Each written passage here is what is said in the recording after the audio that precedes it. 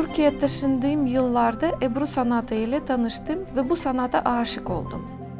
Belki de geleneksel Ebru sanatına olan saygımdan ve hayat boyunca aldığım klasik resim eğitiminden farklı bir tarz yaratma fikrine kapıldım. Sonuçta Ebru ile resim sanatının birlikteliğinden oluşan modern bir tarz ortaya çıktı.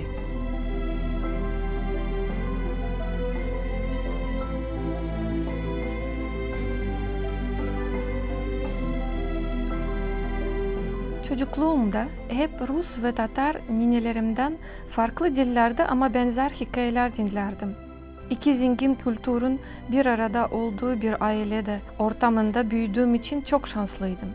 İki farklı kültürü bir arada yaşamak, evde konuşulan iki dili duymak, iki ayrı mantaliteyi hissetmek benim için gerçekten çok değerliydi.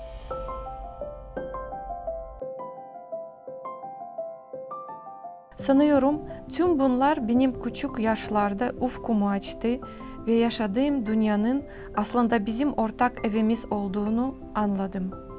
Kendimi hep resim yaparken hatırlarım.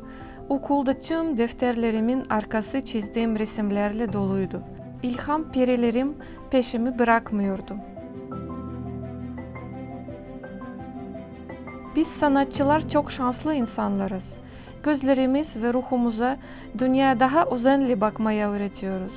Yaşadığımız ve büyüdüğümüz dış dünya, çevre, şehir, ülke, her şey bizim ilham kaynağımız oluyor. İlham olmadan sanat olmuyor. Daha Tataristan'da yaşarken şiirlerini Rusça okuduğum Hazret Mevlana'ya hayran kalmıştım. Daha sonra İstanbul'da Mevlana konulu bir hikaye kitabının illüstrasyonlarını yaptım. Sonrasında ise Mevlana büyük ilham kaynaklarımdan olmuştu. Fotoğraf sanatçısı olan eşimle evlenip Türkiye'ye yerleştim. İstanbul'da mesleğimi devam ederken anladım ki aslında ne farklı diller var, ne ülke sınırları var, hepsi hayatımızdaki yolun ve dersin bir parçası.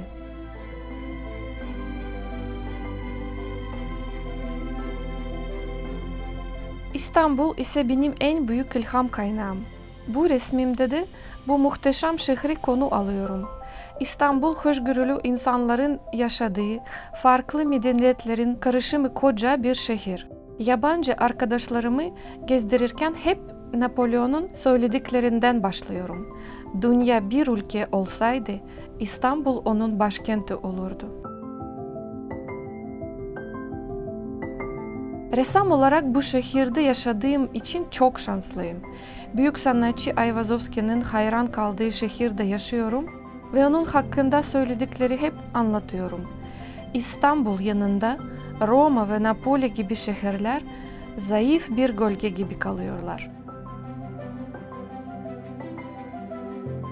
İstanbul'un sokaklarında doya doya yürümek, onun tablolarımda yansıtmak büyük bir zevk ve bana hayattan bir hediye. Haliç ve Sarayburnu benim için bir sembol. Yüzyıllardır sanatçılara ilham veren bir kaynak. Haliç'e Galata Kulesi'nden bakmaya doyamıyorum ve bu güzel manzara karşısında hissettiklerimi tuvalimi yansıtıyorum. Haliç'in ve Sarayburnu'nun en güzel hali gün batımında. Mor ve sarı tonları kullanıyorum. Bu renkler bana enerji ve umut veriyor. Sarıyı sanatım, moru ise imanım rengi olarak görüyorum. İkisi de benim hayatımın altyapısıdır. Resimlerimde çok sevdiğim ülkemi, Türkiye'mi ve evrensel kültürünü konu alıyorum.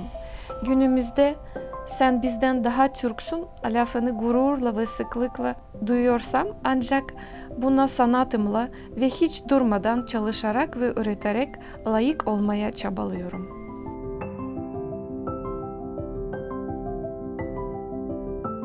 Aygül Okutan 1977 yılında Tataristan'ın başkenti Kazan'da doğdu. 2004 yılında Perm Güzel Sanatlar Fakültesi Resim, Heykel ve Mimarlık Akademisi'nden mezun oldu. Sanatçı dünyanın pek çok yerindeki müze ve galeride 40'ı aşkın kişisel ve karma sergiye katıldı. Resimleri Kazan Kremlin İslam Kültür Müzesi, Yelabuga Devlet Tarih Mimarlık ve Sanat Açık Hava Müzesi, Yelabuga Modern Sanat Müzesi, Tataristan Bolgar Devlet Tarih Mimarlık ve Sanat Açık Hava Müzesi'nde ve özel koleksiyonlarda yer alıyor. 2007 yılından beri İstanbul'da yaşayan Aygül Okutan, klasik Ebru sanatını tuval üzerine yaptığı akrilik çalışmalarıyla birleştirerek kendine özgü modern eserler üretiyor.